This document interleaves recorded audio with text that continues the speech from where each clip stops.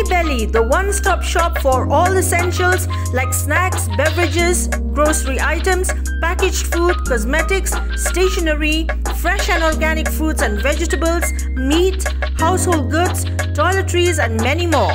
Leave your kids at the playpen while you shop for all your household needs, all at a reasonable rate. Hurry, visit Jolly Belly Supermarket for ready discounts and offers. Step into the store and leave happy. For details, contact Jolly Belly below Mikado Restaurant, Police Bazaar at 7005 668657 and 98630 60336. The youth wing of the NPP had organized a candlelight vigil at the party office in Lower Lachumiere, Shillong on the 11th of December to express solidarity with the people of Nagaland at the recent loss of innocent lives after the shootout by the Assam Rifles on 4th December 2021.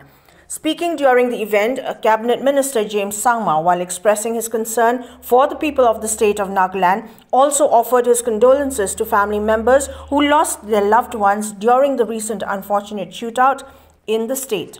On the Armed Forces Special Powers Act, Sangma informed that the party has always opposed its operation in the entire Northeast and reiterated the fact that the same should be repealed to ensure safety and security of the people of the area.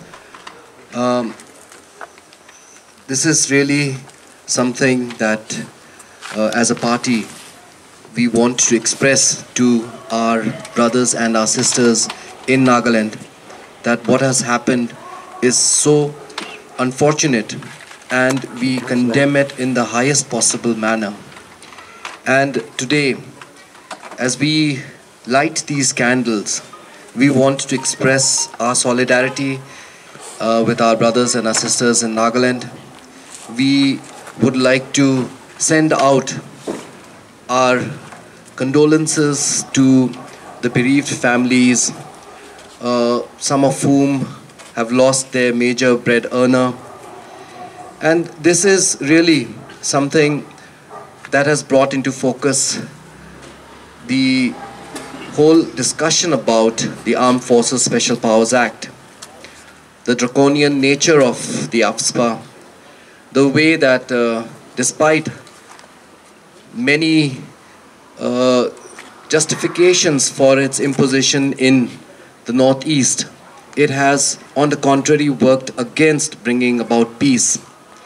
Despite the many, many times that people of the Northeast have voiced their objection to AFSPA in the Northeast, and also our party, the NPP, which has always been very vocal against AFSPA.